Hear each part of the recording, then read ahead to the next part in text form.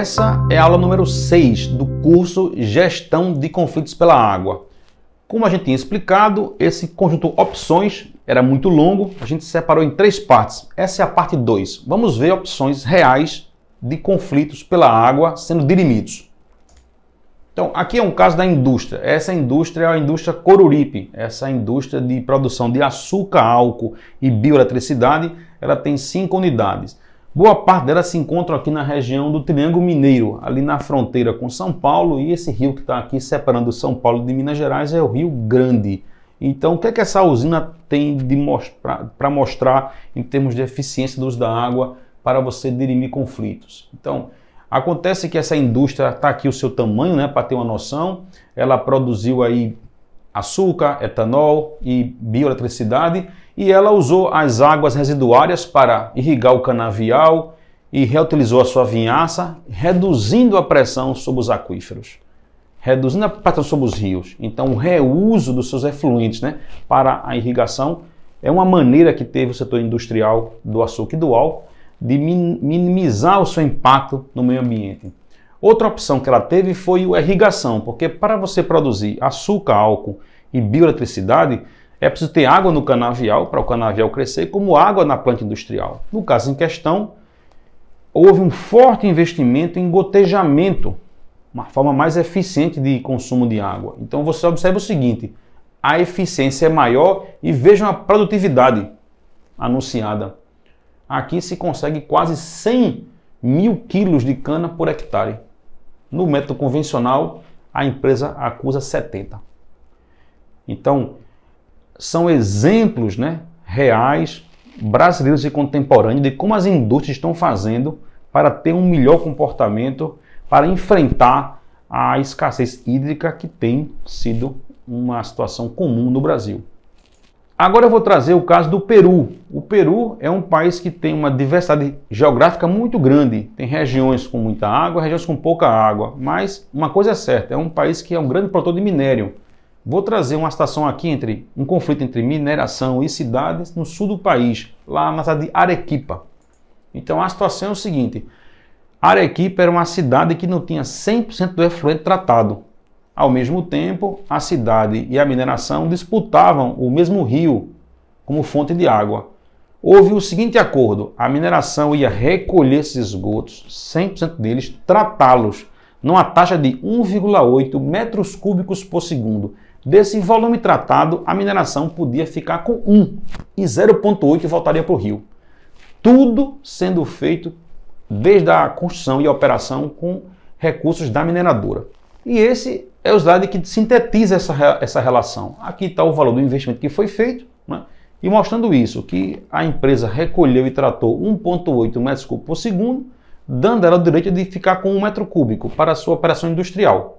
E 0,8 voltando para o rio. Então, essa foi a solução construída por todos lá que estão nessa região de Arequipa. Esse é um caso no Brasil, da usina hidroelétrica de Batalha, que fica no Rio São Marcos. Qual é a situação aqui? Foi feita uma barragem para gerar energia hidroelétrica em função de uma vazão de montante. De repente, a expansão da agricultura a montante podia impactar essa vazão. O empreendimento hidroelétrico podia ficar incapaz de entregar a energia para a qual foi construída e para a qual tem contratos por causa de uma redução gradual das vazões de montante, fruto da irrigação. Essa situação ela mobilizou durante muitos anos os órgãos gestores. Houve um pacto lá em 2010 e agora em 2021 um novo pacto. E aqui está o novo acordo. Aqui vocês podem olhar os órgãos envolvidos, né, e o acordo que foi feito. Uma resolução conjunta que não foi fácil, envolveu muito debate. E o que é que contém assim de mais mais fundamental esse, acordo, essa resolução? Então, o artigo 2, ele estabelece um limite máximo otorgável. Então, vocês podem imaginar a dificuldade e a tensão que causa na bacia se você fala que na usina, a montante dela, você tem um limite máximo otorgar. Eu acho que quem é do setor compreende como isso é impactante para um órgão gestor, esse tipo de solução. Mas foi o que se apresentou. Né? E veja que essa solução aqui, ela não tem nem um ano e meio de feita. Então ela é nova, ela é recente. ela é o fruto de muito trabalho, de uma equipe muito competente dedicada a esse assunto. Assim como o artigo 3 também não é longe de polêmica. Ele diz o seguinte: suspende novas outorgas até que eu faça uma, uma análise do que já foi feito. Então isso faz com que novos empreendimentos né, fiquem em marcha lenta, porque você suspendeu novas outorgas. Então eu queria chamar a atenção disso. A resolução ela bota alguns pontos, aqui são apenas dois, né, que são complexos de serem tomada decisão.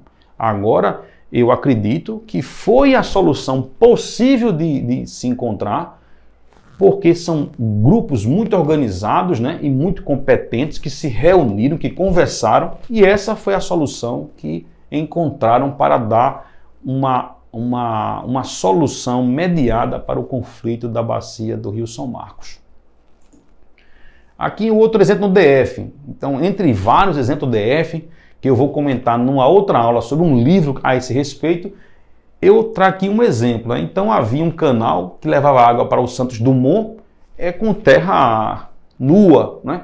o que causa certamente uma perda de vazão no trânsito. Qual foi a solução? Poxa, a gente vai continuar essa irrigação usando o canal Santos Dumont, só que a gente vai agora levar essa água através de uma tubulação para você reduzir ou minimizar a perda no trânsito. Então, outra medida que é feita no caso em questão estrutural, né, para você reduzir a perda de água e você dirimir o conflito pelos da água nessa região que fica lá no, no DF. Aqui é uma experiência do IGAN. Eu acho que todo mundo já ouviu falar, né? O IGAN tem um instituto chamado Comissão Gestora Local. Eu acho que todo mundo deve conhecer, é facilmente encontrado no site do IGAN. É uma maneira de você conciliar conflitos pelos da água, o que é que o IGAN faz? O IGAN reúne as pessoas de uma região que está sob tensão hídrica, que está sob estresse hídrico, e o IGAN trabalha com certas regras que estão bem colocadas para que o IGAN e os usuários da bacia encontrem um ponto de consenso. Então, essa é uma metodologia bastante interessante e deve ser conhecida em profundidade. Comissão Gestora Local. Aqui é um exemplo industrial do reuso. Né? O reuso no Brasil tem grandes possibilidades. Eu acho que o Brasil vai andar muito nas próximas décadas no reuso da água. O exemplo mais importante brasileiro em volume, em qualidade e em, em tempo de, de operação é a Aquapolo. A Aquapolo é a maior planta da América Latina de tratamento de efluentes do Brasil. Ela pode tratar uma quantidade de água que chega a quase um metro por segundo. Ela pega efluentes das retas do ABC de São Paulo e entrega algumas indústrias. Essa é uma operação que já acontece há bastante tempo e certamente é o melhor exemplo brasileiro é, com mais tradição de operação de como você pode pegar efluentes domésticos, tratá-los para atender alguns usuários. No caso em questão, as indústrias que cercam a região ali do ABC de São Paulo. A inovação. A inovação faz parte das medidas para resolver conflitos pelos da água. Aqui eu trago uma provocação da indústria, né? A indústria inovando, fazendo parte da solução. E qual é a provocação? A provocação é vocês. Olha essa imagem aqui agora. Podem parar o vídeo, olha essa imagem e o porquê essa máquina ela recebeu o prêmio do ano de inovação. Vocês podem parar o vídeo aí e dar uma olhada porque essa máquina de lavar roupa ela recebeu um prêmio de inovação.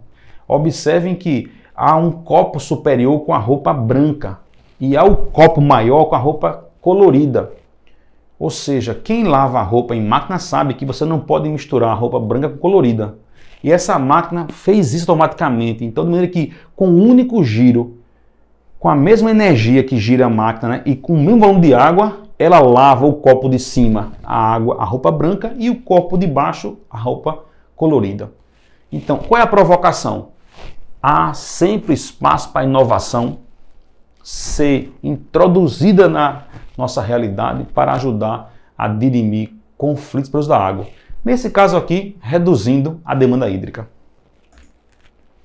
Um outro exemplo de inovação, Rio Javaés. O Rio Javaés é uma região no estado de Tocantins que tinha um conflito pelos da água entre gigantes. Entre outras ações, entre outras ações, houve o quê? Houve a instalação de sensores em tempo real para medir vazão.